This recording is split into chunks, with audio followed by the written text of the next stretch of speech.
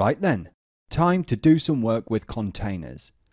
But the world's quickest primer on what a container is first. And I'm just setting my stopwatch here to see if I can get this done in like under less than a minute. Now, if you need more than what I'm going to give you here, go see my big picture course. Anyway, the clock is ticking. So, you know how a virtual machine manager or a hypervisor, how it grabs physical resources like CPU, RAM, storage, networks, then it slices them into virtual versions, so virtual CPU, virtual RAM, virtual NICs, all that goodness?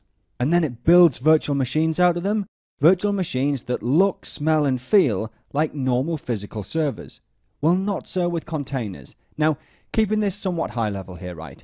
Instead of slicing and dicing physical server resources, Docker and other container engines slice and dice operating system resources. So they slice up the process namespace, the network stack, the storage stack, or the file system hierarchy actually. In effect, right, every container gets its own PID1, process ID 1. Every container gets its own root file system. That's obviously slash on Linux and C on Windows.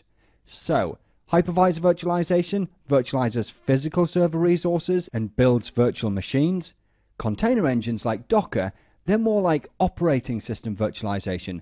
They create virtual operating systems, assign one to each container, inside of which we run applications. And they're way more lightweight than VMs. And okay, that took me.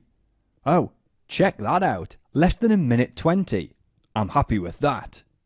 Like I say though, if you think you need more, go check out either my big picture course or even my Docker deep dive course, because in that one, I really get into the weeds of how this is all put together inside of the Linux kernel. So, things like kernel namespaces and control groups.